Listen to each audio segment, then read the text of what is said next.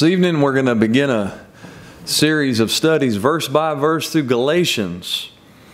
And there's six chapters, 149 verses, 3,084 words, and we're going to look at every chapter, every verse. I don't know if we'll study every word, but uh, we'll, we'll move through it probably, uh, you know, three or so messages a, a chapter. So we it won't take us too long, it being just six chapters.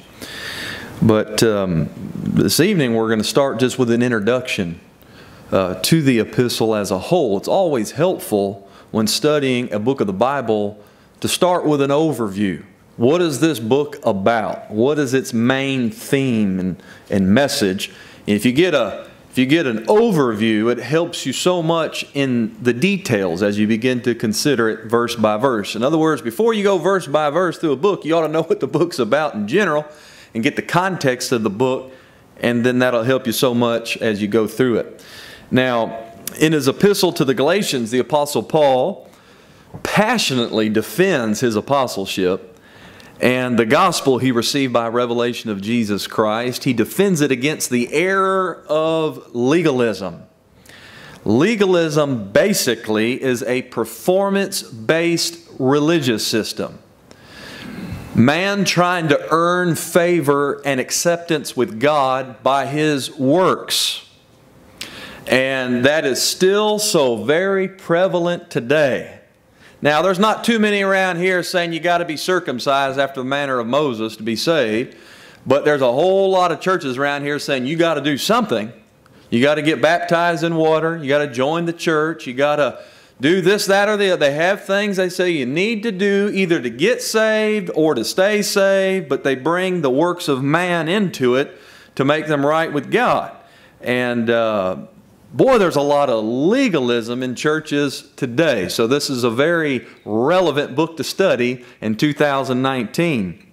There's no shortage of churches in America today. There's more churches around uh, than ever. I mean, they just so many, and yet, sadly, the far majority of them are legalistic and, and what they teach, even those that are more liberal uh, on, on some things, will say, well, if you do this, that, or the other, then God will bless you, then you'll be right with God.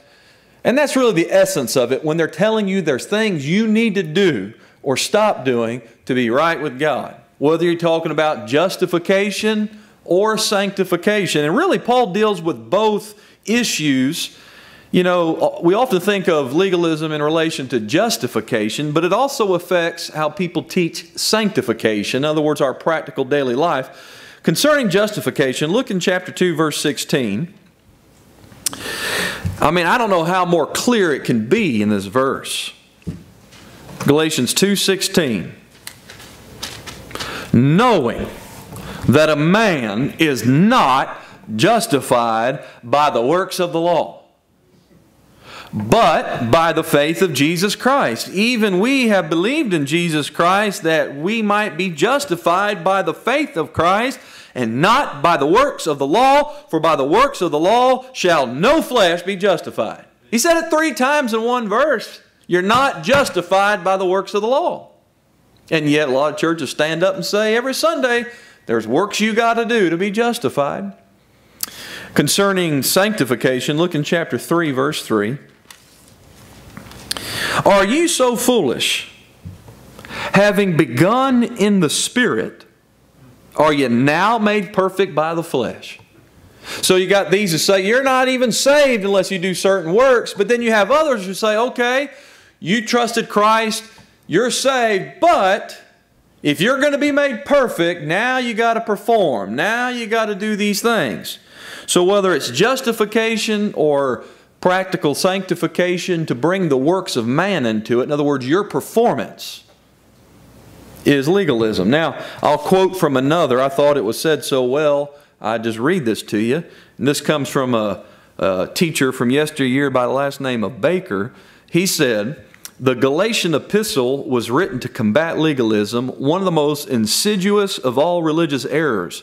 Legalism is insidious because it appeals to man's pride. It deceives man into believing he can justify himself before God by his own works of righteousness. On its face, it appears to be very pious, having a front of what Paul calls in Colossians 2.18 a uh, uh, false humility.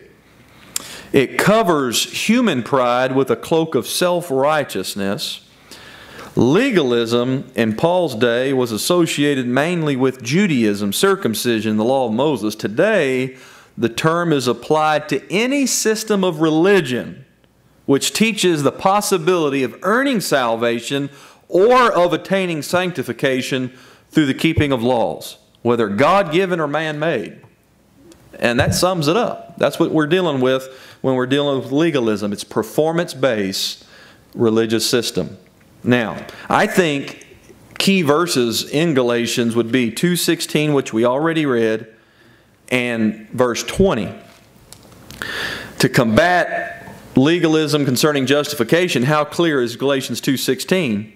But also pertaining to our sanctification, look in verse 20. Galatians 2:20, I am crucified with Christ. Nevertheless I live, yet not I, but Christ liveth in me. And the life which I now live in the flesh, I live by the faith of the Son of God, who loved me and gave himself for me. Notice it's in uh, Galatians 2:16, the faith of Christ. That's how we're justified, the faith of Christ. How are we going to live the Christian life? Once again, the faith of Christ. In other words, it's all about Jesus Christ and what He's done for us. It's all about Jesus Christ and what He does through us. Okay, that's the Christian life. The Christian life is Christ. Okay? And of course, we'll study these verses in depth when we get to them in our study. But I think if you're going to pick out some key verses, I think those are two great verses to, to summarize what Paul's dealing with in combating legalism, Galatians 2.16 and verse 20 how important it is to understand the faith of Christ, and we've taught on that, and we'll deal with it again in this study. But that is one of those things that was revealed through the Apostle Paul. You don't find anybody else in the Bible talking about that doctrine. Now, uh, James and the book of Revelation mentions faith of Christ, but it's talking about his doctrine from his earthly ministry. Um, uh, he's talking about his, his doctrine concerning the kingdom program of Israel. Paul's talking about what was accomplished concerning the body of Christ being justified and sanctified through what Jesus Christ did for us. Uh, and it's something in particular. And so we'll deal with that in this course of studies. Very, very key. And uh, I always want to mention this to you. If you want to understand the importance of the King James Bible, you don't even have that doctrine in the other versions. The modern versions omit that doctrine. Even the New King James Version, which is not new and not really King James, but they call it New King James, they, they change faith of Christ. And it, it, it, doesn't, it says faith in Christ. Now, obviously, we need to have faith in Christ. But the doctrine concerning the faith of Christ, that's key. The devil's trying to hide that, isn't he? Yeah, he is. That's why it's omitted in these new versions that tamper with the Word of God.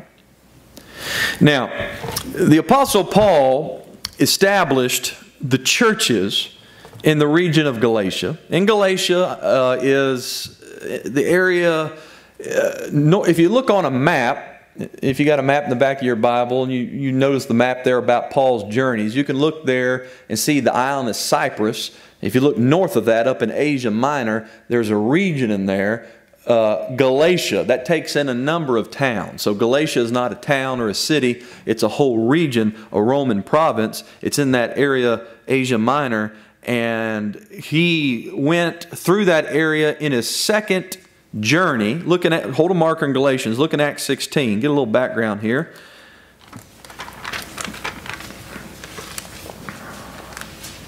Acts 16, verse 6.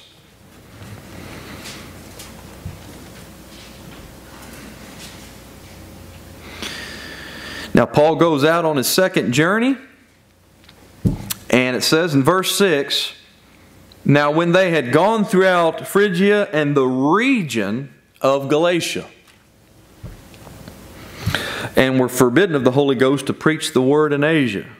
Now, that's an interesting thing. I'm not going to stop and deal with that, but uh, Paul was very careful in following the Lord's leadership and how to go about things and what he was doing.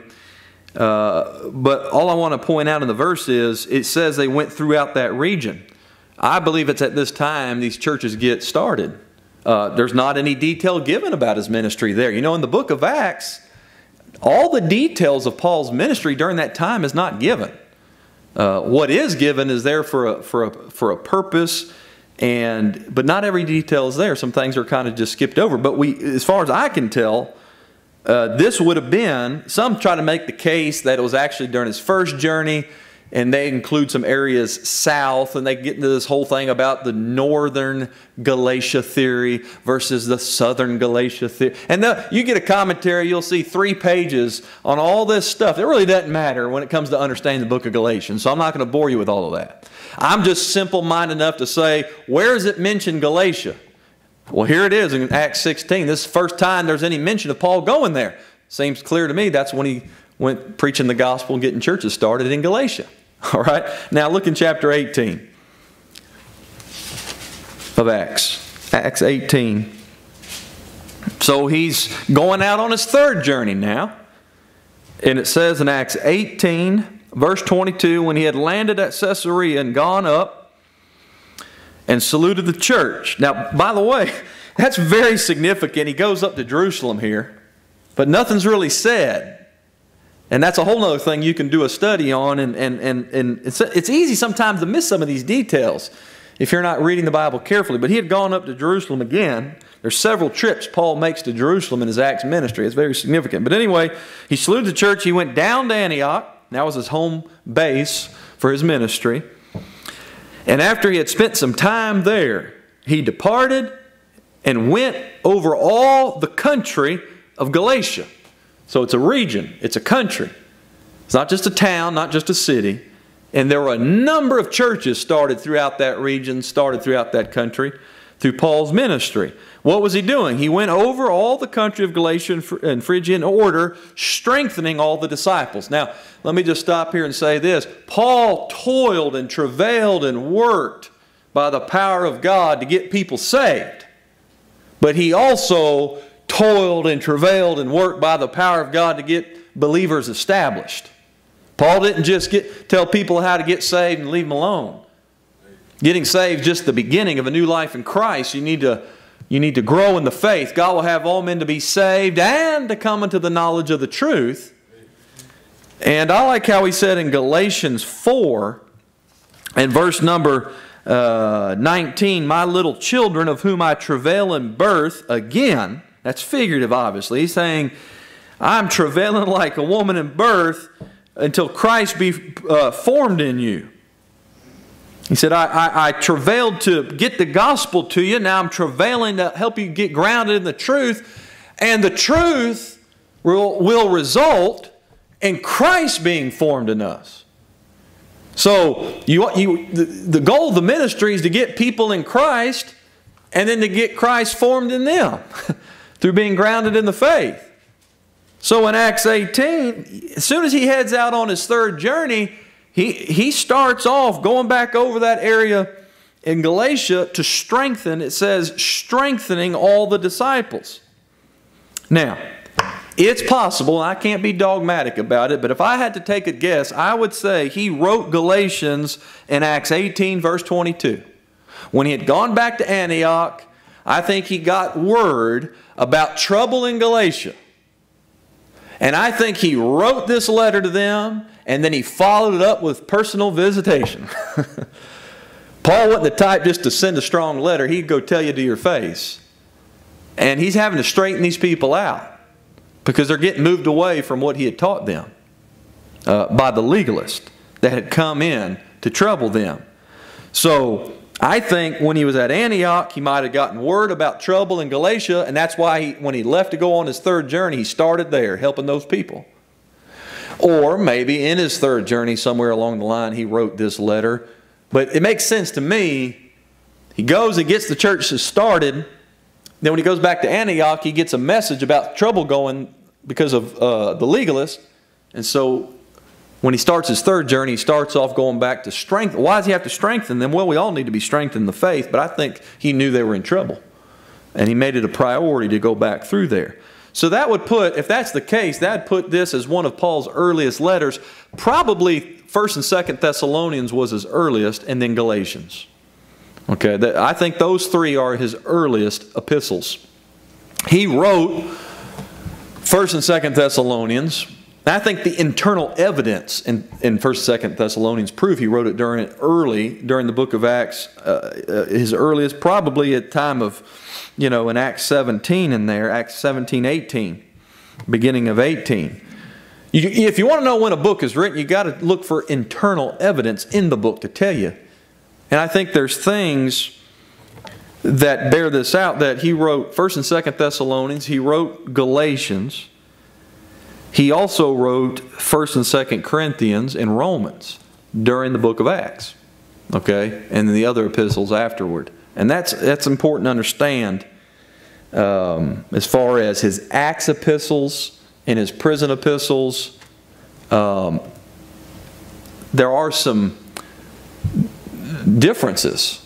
Um, you know, in other words, there's some things going on in the transition period that stop.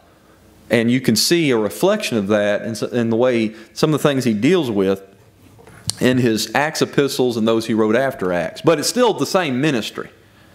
It's one body of Christ.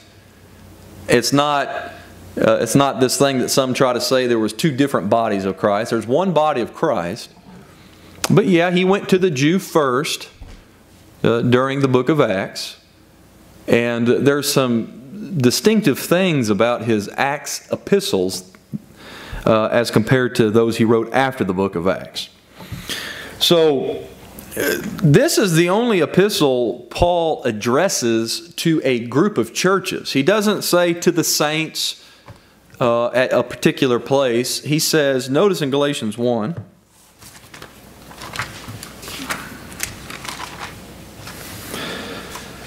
verse number 2, and he says, uh, Unto the churches of Galatia. So that's the only epistle he writes like this. He's not just sending it to a particular church.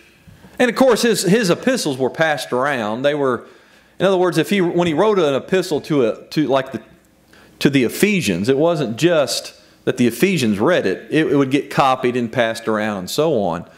But all his other uh, epistles he writes to a particular church. It's addressed to a particular church, to the saints. And he talk about in Christ, that's the body of Christ, but then in Ephesus, at Philippi, you know, in these, these local churches in these areas. Uh, or he wrote to uh, individuals like Timothy and Titus and Philemon. But here he says, this is unique. He says, to the churches of Galatia. And, um, you know, I'll just say this that if you can't be in the body of Christ unless you're saved. That's how you get in the body of Christ. When you believe the gospel, the grace of God, you're baptized immediately by one spirit and one body.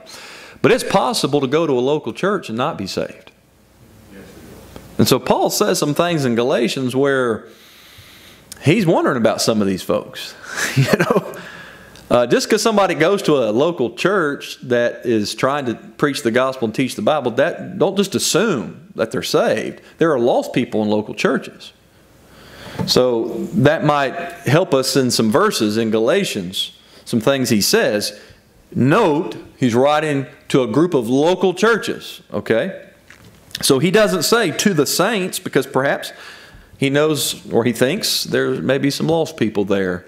Um, and so another thing is this is an epistle that he wrote with his own hand. Look in Galatians 6,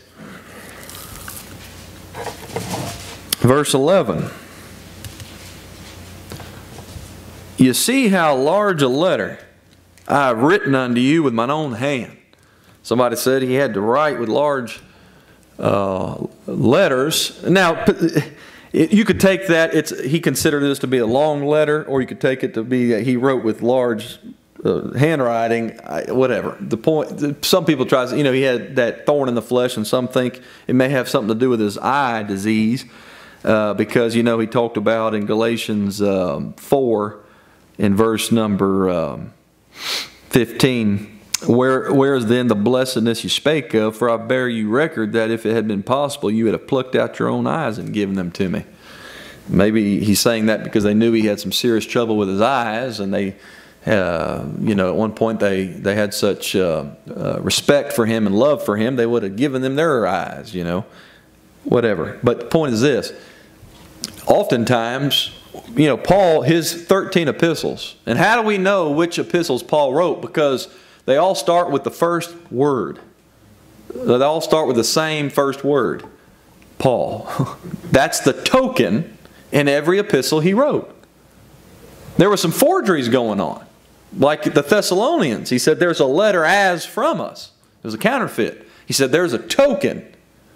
2 Thessalonians 3.17, he said, There's a token in every epistle. Paul would sign his name as the first word in every epistle. Okay? So Romans through Philemon. That was the token. But often, like in Romans, 16 chapters, he, he gave those words. It was given by inspiration of God, but a man named Tertius actually is the one who wrote them down. They were given through Paul, but he would have someone else, like a secretary, writing them down. But this letter I think it's clear, according to Galatians 6 and verse 11, he wrote it with his own hand, the whole thing. And if you have bad eye trouble, it would seem like a long letter writing six chapters with your own hand if you can't hardly see what you're doing, you know. I don't know. Maybe I that's a little bit of speculation, I guess, but it's interesting. There's some unique things about about Galatians. Now, the legalists loved to come in behind Paul's ministry in an area, wherever he'd go, and get churches started, sure enough, as soon as he left, they'd come in right behind him. And they'd come in there and they'd try to turn the church against Paul and they'd try to influence the churches he established away from the message of grace and try to bring them under the bondage of the law. They were um, just a real pain in the neck, okay, during Paul's ministry. And they're, they're like that still today. I mean, uh, for an example, the so called Church of Christ, they're legalists. They say you're not saved unless you get baptized with their baptism, the way they do it, and, that, and you have to keep the commandments and you have to this. And they're legalists, plain and simple. And uh, one of the things they'll do, if a man's on the radio trying to preach the gospel, they'll do everything they can to buy up the time right after him and try to oppose what he's saying and lead people away from what he's saying. And I've had that happen to me when, when, we, when we came up to this area and got on the radio. It, I had a preacher tell me, you watch it. If you start a radio ministry, a Church of Christ preacher will get on right after you and try to, and that happened just like that. I mean, I wasn't on the radio a couple weeks and this guy gets on, he buys the time right after, and his whole message was trying to refute what I was saying. And he'd say, Now, Pastor O'Steen says, but the Bible says, and he'd give Acts 2.38, Mark 16, you know, the typical stuff. And and they they try to cause trouble. You know, they, they don't have a real ministry, right? So they try to come in behind people who are doing something for God, and they try to get the people they're trying to minister to turned away over to their false doctrine. And that's the way they still work today. So they'd come in there and they would give all kind of problems to those that uh, Paul had preached to and taught. And they were saying, look, you may have believed on Jesus Christ as your Savior, but if you don't get circumcised, like it says in the law of Moses, and you don't do the works of the law, you're not gonna you're not gonna be saved. Um, you're just not going to be right with God. And Look in Acts 15. Acts 15. And Paul brings up this issue of Acts 15 in Galatians 2. But this is exactly what would happen. Uh, in Acts 15, verse 1. And certain men which came down from Judea taught the brethren and said, Except to be circumcised after the manner of Moses, you cannot be saved. When therefore Paul and Barnabas had no small dissension and disputation with them. So it was a big fight, okay? they determined that Paul and Barnabas and certain other of them should go up to Jerusalem under the apostle and elders about this question. Now, I'll deal with this when we get to Galatians 2. But I'm just showing you that that's what would happen. They'd come in there and say these things, and Paul would have to go to battle. Now, look, Paul said at the end of his ministry, I fought a good fight. I've kept the faith. And he encourages us. I mean, look, he told uh, Timothy, war a good warfare. In 1 Timothy 1, he says that in the context. He's telling Timothy, teach no other doctrine. The doctrine of grace that I taught you, I got it from the Lord. You stand for that because there are legalists coming in. He said they desire to be teachers of the law. They don't understand what they're talking about. And he's, and he's telling Timothy in 1 Timothy 1, you got to stand against that. There is a fight the good fight of faith. I'm not talking about fighting about little things and preferential things. I'm talking about doctrine. I'm talking about the truth. I'm talking about salvation by grace and what it means to be under grace. That's a fight because it's going to be opposed. The devil's opposing it, and he's got his preachers and he's got his churches. And look, look in Galatians 2. Paul uses this language quite a bit. Uh, the warfare. You know, Paul's warfare. I mean, look, the, the trouble he dealt with the most was from the religious world. And you know how the devil's working today? It's called the mystery of iniquity. It's iniquity in the form of religion, the religious system. That's what we have to deal with.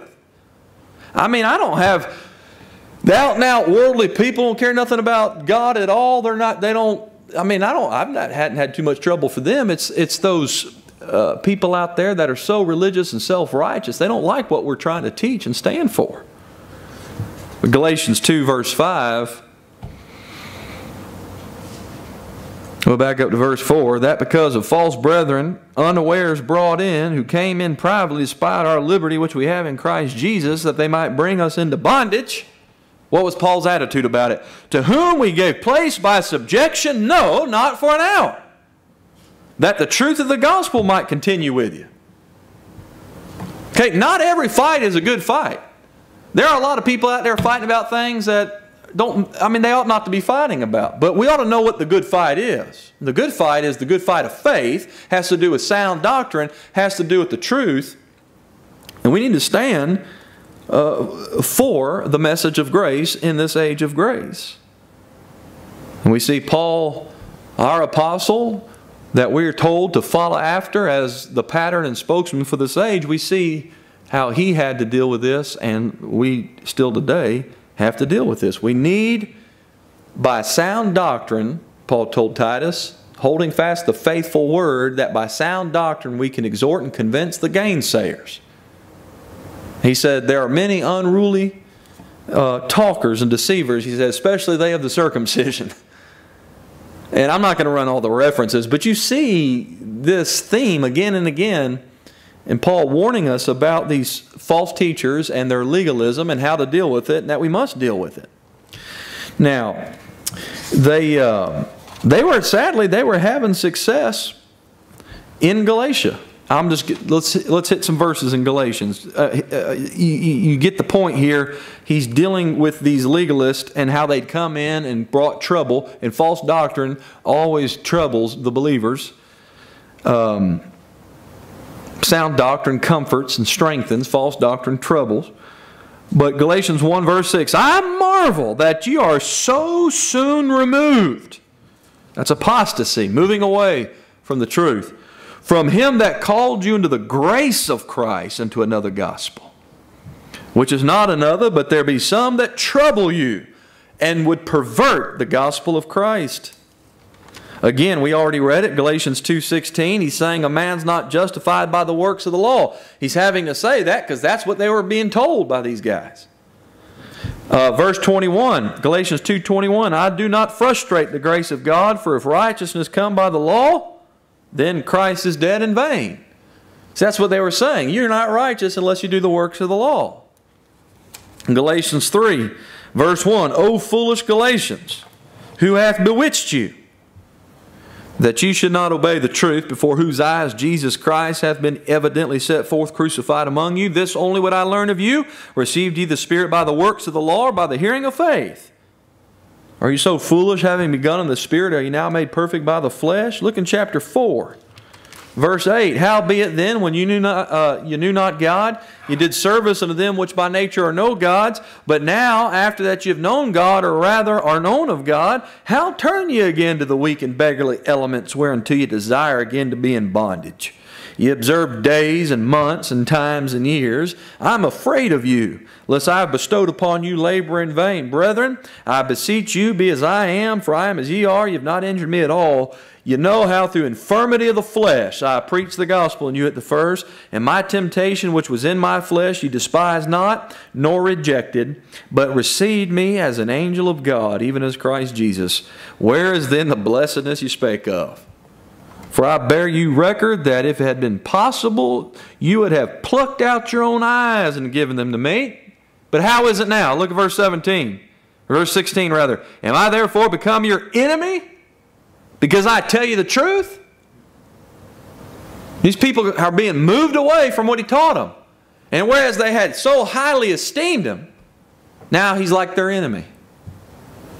He said, They zealously affect you, they, these false teachers, but not well. He said, uh, Yea, they would exclude you that you might affect them. But it is good to be zealously affected always in a good thing, and not only when I'm present with you, my little children, of whom I travail in birth again till Christ be formed in you. I desire to be present with you now to change my voice, for I stand in doubt of you.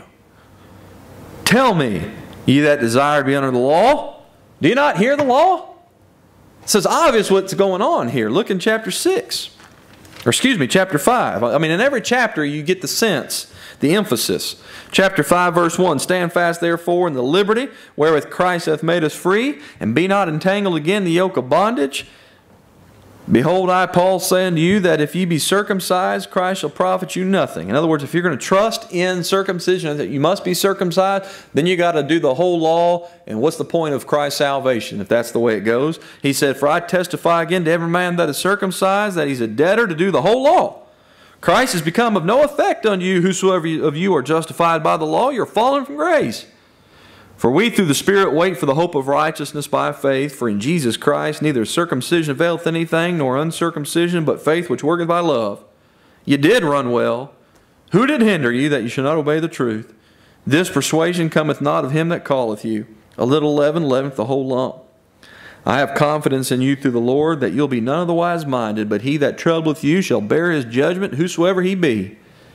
And if I, brethren, uh, if I yet preach circumcision, why do I yet suffer persecution?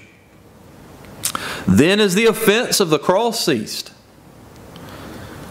The religious world's offended by the preaching of the cross. I would they were even cut off, which trouble you. Look in chapter 6. I'm not, I'm, we're going to go through this and teach on what he's saying. I'm just reading this to you. You get the sense of what's going on here. Chapter 6, Verse number 11. You see how large a letter I've written unto you with mine own hand, as many as desire to make a fair show in the flesh. They constrain you to be circumcised, only lest they should suffer persecution for the cross of Christ. For neither they themselves who are circumcised keep the law, but desire to have you circumcised, they may glory in your flesh. But God forbid that I should glory save in the cross of our Lord Jesus Christ, by whom the world is crucified unto me and I unto the world. Now, that world, when we talk about the world, that includes religion. The things of the world, the things you can do in your flesh in this world. It's not just when you, when you see being crucified on the world, it's not just talking about the things of this evil world in the sense of secular worldliness, but even the world of religion, okay? He said, By whom the world's crucified unto me and I unto the world. For in Christ Jesus neither circumcision availeth anything nor uncircumcision. Well, what veils something? Here it is a new creature. That's the body of Christ. And as many as walk according to this rule, peace be on them, the new creature, the body of Christ, and mercy, and here's another group in the book of Acts, upon the Israel of God. That's the little flock, the believing remnant uh, true believing Israel. From henceforth let no man trouble me, for I bear in my body the marks of the Lord Jesus. I mean, he was marked up with all the beatings he took and all the persecution he went through.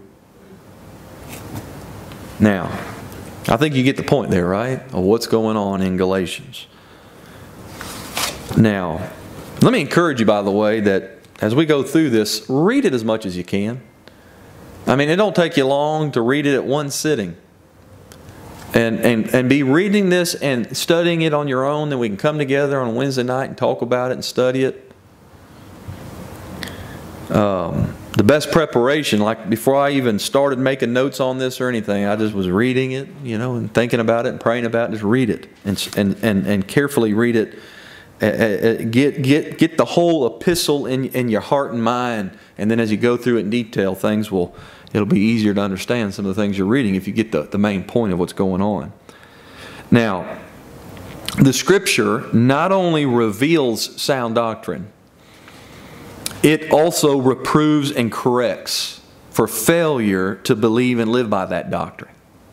All scripture is given by inspiration of God and is profitable for doctrine, reproof, correction, instruction in righteousness, that the man of God may be perfect, thoroughly furnished in all good works. You got to get the doctrine, that's what's right. The reproof, that's what's not right. Correction, that's how to get it right. The instructions how to keep it right. Okay? You got to have that and you know, a balanced Bible-based ministry not only teaches sound doctrine. That's the positive aspect. But there's the negative aspect of reproving and correcting. That's part of a Bible ministry. And you see Paul's epistles laid out in that manner. His church epistles there are three major doctrines that are dealt with, more than that, but I'm talking about the emphasis, and we've gone over this ground before, so I'm not going to do too much of it right now. But you have justification by the faith of Christ, you have the church, the body of Christ, and then you have our blessed hope of the coming of Christ. That, those things were revealed through the Apostle Paul, and there were other things revealed. But his church epistles are structured according to those three main key doctrines. Romans, Corinthians, and Galatians is one set having to do with the theme of justification by the faith of Christ. Ephesians, Philippians, and Colossians is another set having to do with the body of Christ. Thessalonians deals with the coming of Christ. So you have Romans, that's the doctrine concerning justification by the faith of Christ. First and Second Corinthians is reproof for not walking by that doctrine practically. And Galatians is correction for listening to doctrine contradicting that of Romans. Okay? And taken together, it's instruction in righteousness. It's the same thing with Ephesians, Philippians, and Colossians. Ephesians is doctrine, the body of Christ. Philippians is reproof for not walking by that doctrine. Colossians is correction for listening to false doctrine contrary to that doctrine. And it's the same thing in Thessalonians. The two epistles together, it's the same thing. The doctrine, reproof, and correction all together is the instruction in righteousness. Okay, that's the order of the church epistles. The church epistles are not arranged chronologically.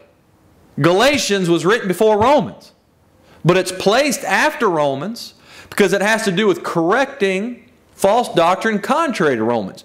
The doctrine that's in Romans is what Paul preached in Galatia. Okay? So there's a there's an order, and I probably should have put that on the board, but I didn't. You, you, I got those outlines. If you go on our website and go to the, the blogs and different writings, we have those outlines. You can get those. But I'm going to give you an outline of Galatians here before we close just a minute. But that, that that's so important to understand the, the order there so the churches at Galatia, they were, they were listening to this legalism as contrary to salvation by grace through faith alone as laid out in Romans. Look back quickly in Romans 3. Romans is the foundational book of doctrine for the age of grace. That's why it's placed first in the order of the church epistles. And the theme of it is justification by faith alone. In other words, it's not faith plus works, it's faith without works. Furthermore, it's the faith of Christ. Romans 3:19, now we know that what things soever the law saith, it saith them who are under the law, that every mouth may be stopped, and all the world may become guilty before God. Therefore, by the deeds of the law there shall no flesh be justified in his sight, for by the law is the knowledge of sin. But now, you notice that? But now, in this age of grace, the righteousness of God without the law is manifested, being witnessed by the law and the prophets, even the righteousness of God which is by faith of Jesus Christ. Unto all and upon all them that believe, there's no difference. There's no difference in this age between Jew and Gentile. For all have sinned and come short of the glory of God, being justified freely by his grace through the redemption as in Christ Jesus whom God hath set forth to be a propitiation through faith in his blood to declare his righteousness for the remission of sins that are past, through the forbearance of God, to declare, I say, at this time, his righteousness, that he might be just and the justifier of him which believeth in Jesus. Where is boasting then? It is excluded by what law of works? Nay, but by the law of faith. Here it is. Therefore we conclude that a man is justified by faith without the deeds of the law. Now, that is Paul's me message of grace given to him by the Lord Jesus Christ from heaven, revealed through him. Look, you go over the book of James, which is written to the 12 tribes scattered abroad, and you find James saying, It is not faith alone. All right? I always got to clarify James is not teaching a man is justified by works either. What he is teaching is a man must prove his faith by his works because that's the message they're dealing with. This message says the moment you believe, you're instantly justified by the faith of Christ. The difference, my friend, between Paul and what he teaches about justification and the Apostle James is the difference between the faith of Christ and a man's faith. A man's faith must be proven. Prove your faith, right? But if we're justified by the faith of Christ, that's already proven.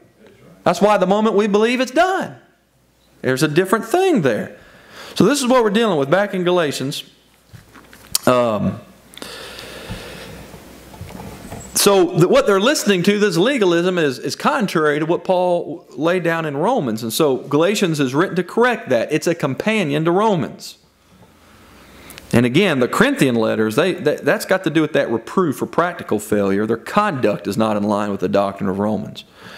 Uh, so that's how these things are structured. Now, doctrinal and moral failures not to be tolerated and taken lightly because Paul said just it takes a little leaven to leaven the whole lump. Leaven is, it symbolizes corruption that spreads. So twice Paul said a little leaven leavens a whole lump. 1 Corinthians 5, 6, that had to do with uh, immorality in the church. Here in Galatians 5, verse 9, it has to do with false doctrine in the church. Doctrinal corruption produces moral corruption because what you believe determines how you behave. And Paul told the Corinthians, Be not deceived. He said, Evil communications corrupt good manners. He warned in 2 Timothy 2 about uh, the false doctrine that will eat as doth a canker and how it produces ungodliness. But there are verses where Paul talks about the sound doctrine which produces godliness.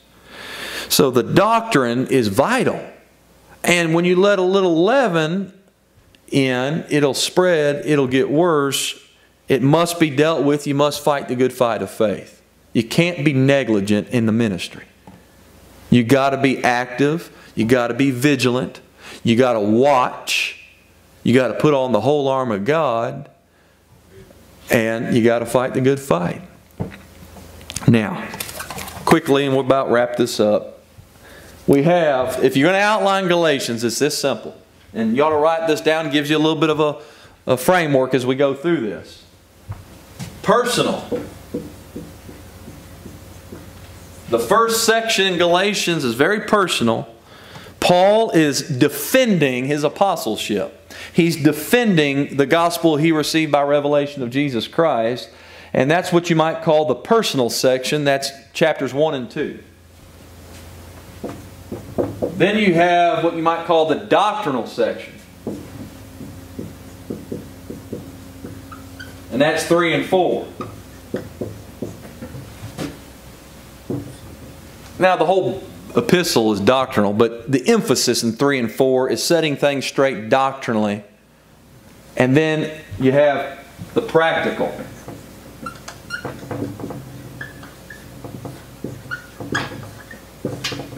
Chap- the first two chapters is personal, Paul dealing with his, his ministry.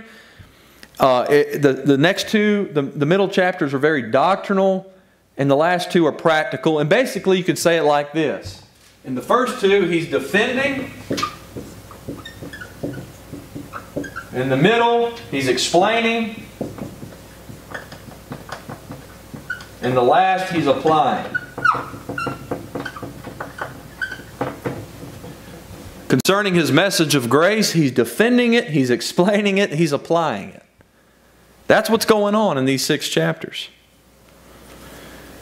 All right, so let me just say a, brief word about that and we'll wrap this up. Look in um, Galatians 1, verse 1. Just, get, just right off the bat, you see it. Paul, an apostle, not of men, neither by man, but by Jesus Christ and God the Father who raised him from the dead Look at verse 12, or excuse me, verse 11. I certify you, brethren. I, I mean, this is certified, okay? He's being challenged. I certify you, brethren, the gospel which was preached of me is not after man. For I neither received it of man, neither was I taught it, but by the revelation of Jesus Christ. Look in verse 20. Now the things which I write unto you, behold, before God I lie not. What does that tell you? They were saying he was lying. Okay, so what you have, the first two chapters clearly establish Christ gave Paul a message and ministry that was distinct. He was not one of the 12 apostles. He had a unique apostleship as the apostle to the Gentiles. It was a new message and ministry, and so therefore it was constantly under attack. And so God inspired Paul to defend his apostleship and ministry, not himself as a man, but, but his apostleship and ministry. He defends it in Galatians, he defends it in Second Corinthians, and in other passages. It was constantly under attack, and it's of great importance because he's the spokesman and pattern for this age of grace. All right, in the middle chapters, again, in chapters 3 and 4, he's explaining, he's contrasting. You know what he's saying? You can't mix law and grace. That's the main point there. And what he does is he uses Abraham to prove the historical precedent of God imputing righteousness by faith before the law and without the law, because Abraham wasn't under the law. And he uses Abraham, and, and we see that we are children of Abraham in the spiritual sense that we are in Christ, and Christ is the seed of Abraham, and in the spiritual sense that we're counted righteous by faith, not at all in the sense that we replace the nation Israel. And I heard a guy just recently trying to use Galatians to teach replacement theology. We're going to deal with that when we get in chapters 3 and 4. I mean, it's in Galatians, he said, in the body of Christ, there's neither Jew nor Gentile. Galatians 3 27, 28. We're, we're not Israel, we're the new creature. It's in Galatians 6, he contrasts the new creature with the Israel of God. Israel is not a new creature. The new creature is the body of Christ that's neither Jew nor Gentile. We did not replace Israel.